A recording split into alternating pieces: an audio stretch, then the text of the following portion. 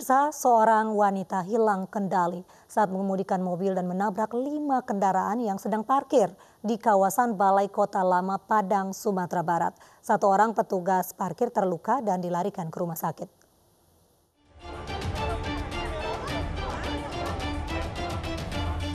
Kecelakaan beruntun terjadi di depan Mapolresta Padang Jalan M. Yamin, Padang, Sumatera Barat. Mobil yang dikendarai seorang wanita menabrak lima kendaraan lain yang tengah terparkir di pinggir jalan raya di depan balai kota lama. Kena mobil dalam kondisi ringsek dan hancur. Satu orang petugas parkir dibawa ke rumah sakit Bayangkara Polda Sumbar karena mengalami patah tulang akibat ditabrak.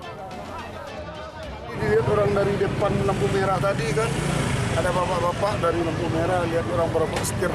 Cuma kecepatan tinggi. Pertama dua, bawahnya langsung yang di sini. Empat mobil. Jadinya berapa bang yang mobil yang ditabrak bang? jadinya enam. Empat korban korban cuma yang parah kali kan tukang parkir.